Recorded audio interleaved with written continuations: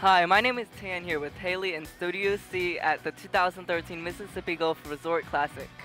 World Golf Hall of Famers in this year's field includes Fred Couples, Tom Kite, Sandy Lyle, and Larry Nelson.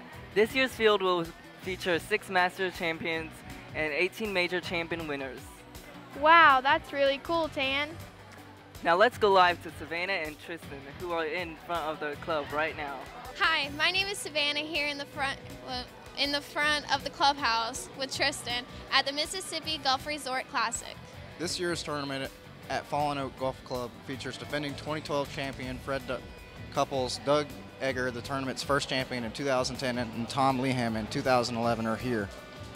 Now let's take a break, a commercial break, to hear a word from our sponsors. Most people only see a golf tournament. I see scatter theories. I see high-tech labs working on robotics. I see root penetration and runoff coefficients. I see classes of engineering and architecture. I see Newton's aha moment. All because of a bunch of Eagles. This season, our Eagles for Education program has helped more than half a million kids get a better shot at science, technology, engineering, and math.